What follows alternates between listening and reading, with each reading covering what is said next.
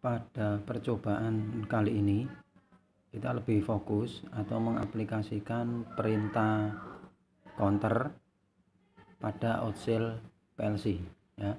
Jadi di Outsail Studio atau Outsail PLC ini ada fungsi atau ada perintah counter ya. Jadi dari kelanjutan praktikum sebelumnya yaitu praktikum timer. Nah, sekarang kita ke praktikum counter ya. Jadi counter di sini adalah suatu fungsi atau suatu perintah yang bisa menghitung atau menandai banyaknya suatu kejadian ya.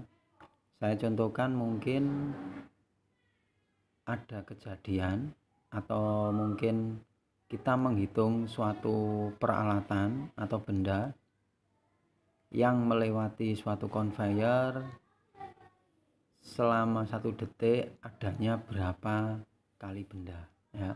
Jadi intinya counter di sini menghitung sesuatu kejadian gitu ya. Jadi nanti contoh selanjutnya mungkin ada kita melakukan penekanan tombol sebanyak lima kali nanti ada nyala led. Atau kita menekan tombol sebanyak tiga kali led akan menyala.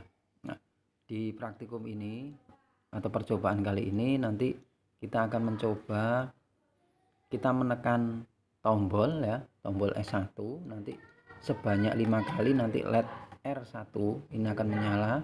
Kemudian nanti kita tambah juga ada perintah reset supaya nanti mereset supaya bisa melakukan nanti penekanan tombol sebanyak lima kali lagi gitu ya. Langsung kita mulai ya. Untuk setting awal ya sama ya. Jadi seperti percobaan sebelumnya yang perlu kita perhatikan adalah input dan outputnya ya. Untuk input ya input 1 sampai input 8 ya. Itu kita ketahui bahwa input 1 itu di D13 ya. Ingat ya. Karena kita menggunakan Arduino Nano berarti nanti input 1 itu dihubungkan ke D13 input 2 ya ini ya dihubungkan ke A0 sampai seterusnya sampai nanti input berapa ya? Input 7 atau input 8 ini ya yang terakhir. Ini dihubungan ke D2 dari Arduino Nano ya. kemudian untuk output nah output 1 sampai output 7 ini kalau kita lihat ya itu dihubungan ke D3 sampai ke D9 dan yang terakhir output 8 dihubungkan ke A3 dari Arduino Nano ya itu ya nanti yang perlu diperhatikan ya itu kalau kita ingin merakit suatu trainer ya. Nah, kalau milih saya ini sudah otomatis S1 S1 terhubung ke D13 S2 terhubung ke A0 jadi sudah sudah sudah paten kalau yang di sini ya. Nanti seperti ini ya hubungannya ya. Nah ini. D3 dan D4 untuk LED. Kemudian switch itu D13 dan 0 karena D3 ini D13 input 1 dan ini untuk input 2 nah itu ya untuk keterangan dari suatu rangkaiannya.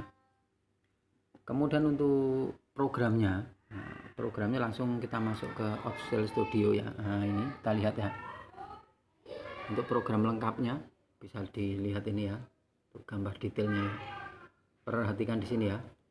Ini rangnya atau barisnya ini ada 1 0 1 dan 3 pada baris 0 ini ada tombol S1 nah nanti S1 kemudian ada S2 nah S2 ini nanti untuk reset saja ya. Di nanti dulu ya. Ini nanti kita loncati dulu sementara. Pada S1 kita menggunakan tombol 1 kemudian nah ini yang terpenting nanti di counter. Nah, counter ingat ya counter sebenarnya ada dua nanti yang kita pelajari. Counter up dan counter down. Counter up itu nanti perhitungan naik jadi penambahan 1 2 3 4 5 kalau counter down berarti kebalikannya nanti 5 4 3 2 1 untuk yang ini CTU ini ini berarti counter up. Naik ya. Kalau dilihat di sini ini ya. Ini beberapa ada perintahnya. Ini sos sumbernya nanti C1 ya. C1 ya. Kemudian preset.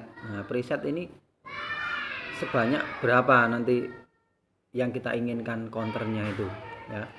Kalau 5 berarti nanti kita tekan sebanyak lima kali nanti baru nanti ada perintah selanjutnya. Kalau kita ingin menginginkan sampai 10 kali ya berarti nanti di sini kita isi 10 gitu ya. Itu aja. Jadi sangat mudah sekali perintahnya di sini.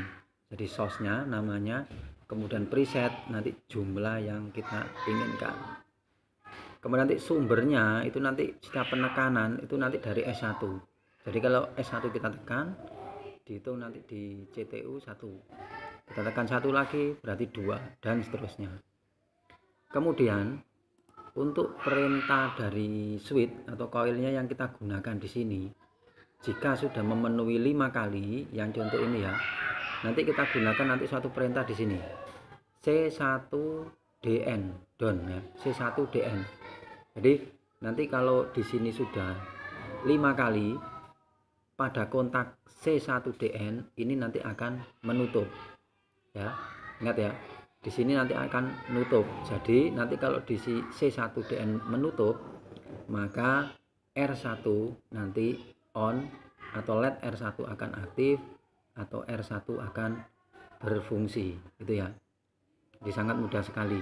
Jadi intinya kita tekan di S1 sebanyak lima kali akan dihitung di CTU sudah memenuhi lima kali. Kalau sudah lima kali berarti C1DN akan aktif atau menutup. Kemudian kalau ini menutup berarti R1 akan menyala atau R1 LED 1 akan menyala. Gitu ya. Kemudian di sini ada perintah lagi. Sebenarnya ini, ini tambahan saja ya. Untuk S2 ini S2 NO S2 ya. Ini nanti saya gunakan untuk reset saja. Jadi apa maksudnya jadi nanti kalau sudah terpenuhi lima kali supaya nanti counter ini bisa berfungsi lagi maka nanti reset akan kita aktifkan dengan cara nanti S2 kita tekan gitu ya. Jadi nanti kalau kita tekan S2 nanti reset akan berfungsi maka nanti counter akan counter up ini presetnya akan kembali ke nilai 0 mereset gitu ya itu aja perintah dasarnya. Jadi sangat mudah sekali ya untuk untuk alur kerjanya. Nah, untuk melihat sub, apa? Maaf ya untuk perintah-perintahnya instruksinya nanti bisa dilihat di sini ya. Untuk switch saya kira sama ya. On NO atau NC nanti kita lihat di sini ya. Tinggal nanti dirubah. Kemudian untuk counter nah counter nanti di sini. Nah CT CT up CT up counter up atau counter down nanti yang kita gunakan. Jadi ini yang kita ambil ya. Sebenarnya di perintahnya di sini. Kalau T on T off ini yang kemarin ya. Yang percobaan sebelumnya. CTU di sini. Kemudian ada perintah lagi ini yang reset ya. Reset pada counter satu ya. Reset nanti bisa kita ambil di sini. Nah RST reset. Reset timer atau counter ya jadi ini bisa digunakan untuk timer atau untuk counter ya. Kemudian di sini nanti ya itu aja saya kira ya. Untuk selanjutnya langsung aja kita apa langsung melakukan percobaan ya. Atau secara simulasi kita coba ya. Setelah program kita buat kita coba nanti simulasi di sini ya kita tekan simulasi. Ya. Ya. Kemudian kita coba. Nanti tombol-tombol di sini. Ya. Kita lihat. Berarti input S1 ya di sini ya. Kalau S2 nya nanti sebagai ya input S1 dan S2 kalau S1 untuk penambahan atau input counter S2 nanti untuk reset. Kita lihat. Nanti perhatikan di sini nilai akumulatornya atau penambahannya ya. Kita tekan satu klik klik nah ini. Lepas. Satu ya. Ini sudah satu ya. Lihat di sini ya satu. Kita tekan lagi satu kali lagi. Klik klik kita lepas. Nah, dua. Kliknya dua kali ya. Klik klik nah, tiga. Klik klik nah sudah empat. Nah, ini masih belum ya counter downnya karena masih empat. Yang kita inginkan kan lima. Berarti satu kali lagi harus berfungsi. Klik klik nah lihat ini sudah berfungsi R1 sudah menyala. Kita lihat di sini juga bisa menyala. Nah ini sudah. Jadi benar ya untuk untuk secara simulasi kita tekan sebanyak lima kali sesuai dengan akumulator di sini nanti R1 akan berfungsi nah sekarang coba kita reset. Berarti lewat S2 kita nyalakan S2 kita lihat. S2 kita on kan? Klik klik. Nah di sini sudah mereset ya. Nilai akumulator di sini sudah kembali ke nilai 0 jadi sudah mereset. Itu ya secara simulasi ternyata sudah benar. Nah, kita coba sekarang secara realnya. Kita coba nanti di sini. Kita tekan tombol sebanyak lima kali R1 harus on. Kalau S2 kita tekan berarti sudah bisa mereset.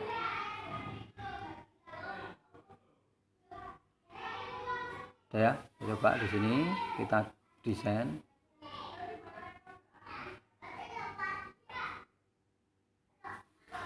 Kemudian kita kirim program. Kita kirim program dulu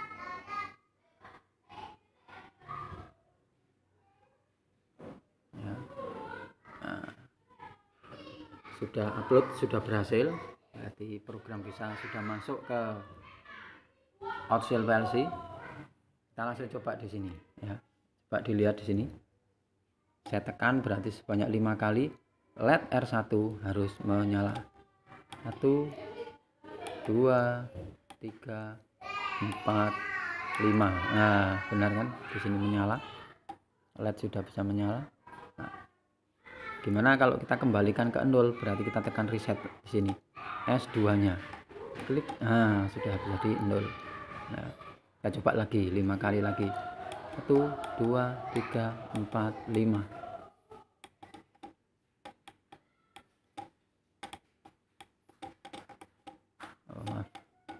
satu dua tiga empat lima. Nah menyala ya.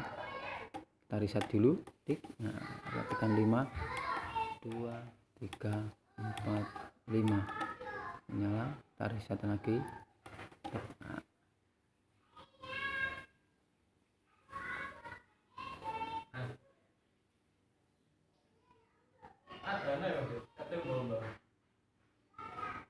Ya ini ya.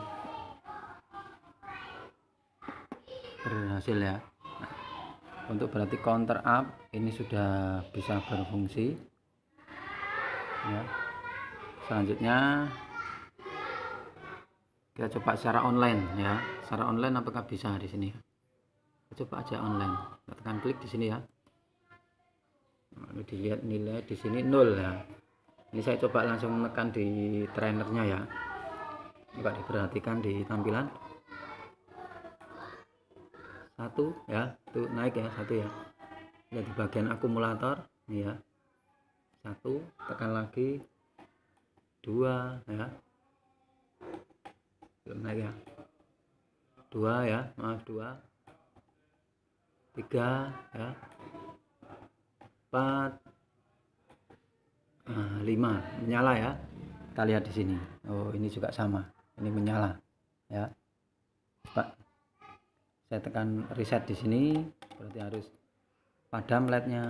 Nah, padam ya kalau lihat di sini nah ini secara ini juga sudah sama juga padam ya berarti secara online ternyata juga sudah berhasil ya.